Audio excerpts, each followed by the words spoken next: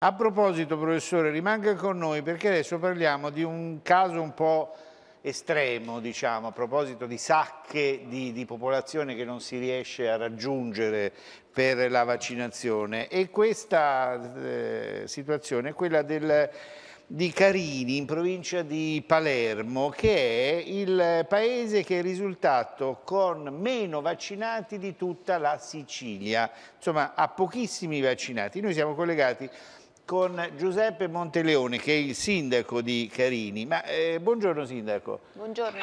Eh, buongiorno a voi a tutti. Allora, qual è il motivo di, di questa scarsa vaccinazione? È organizzativo, logistico, ci sono tanti Novax?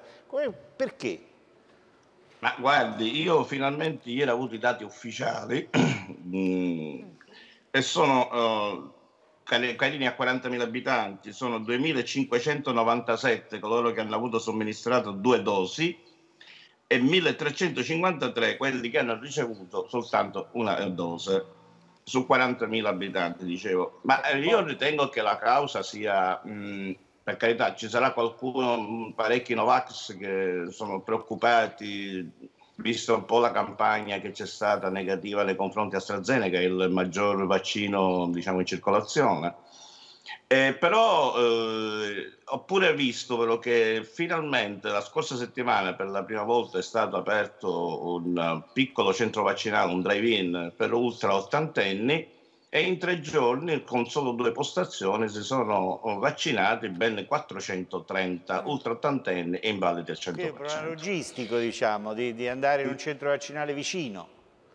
Ecco, questo, il motivo è semplicemente logistico. Noi eh, abbiamo, eh, per non cogliere, diciamo, abbiamo colto l'opportunità anche di questa diciamo, diffusione della notizia al mezzo stampa, abbiamo fatto le nostre pressioni e finalmente stiamo allestendo un centro abbiamo allestito già un centro vaccinale con quattro postazioni presso un centro commerciale abbastanza comodo, agevole e abbiamo messo tutta l'attrezzatura con fondi comunali, compresi computer, eh, lettori diciamo codice a barre, stampanti, punto internet.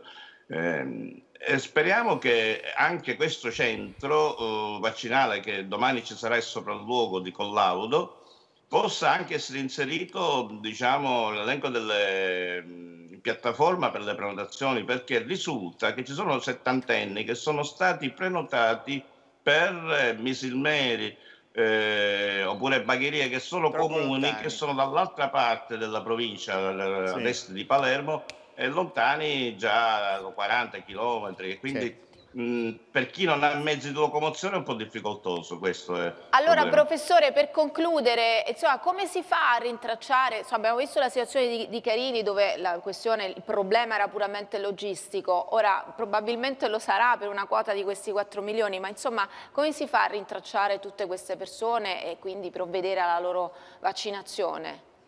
Ci vuole uno sforzo delle istituzioni locali, sì. territoriali, e la discesa in campo dei medici di medicina generale. Non c'è, direi in teoria, nessuno che non abbia eh, un medico di medicina generale di riferimento, quindi bisogna lavorare e rapidamente colmare questi, questi gap che sono direi decisivi per, per, il successo della campagna vaccinale, mettere in sicurezza eh, chi è più a rischio, anziani, grandi anziani e fragili. Grazie professor Menichetti, grazie, grazie anche al sindaco, sindaco di Carini. Allora adesso ci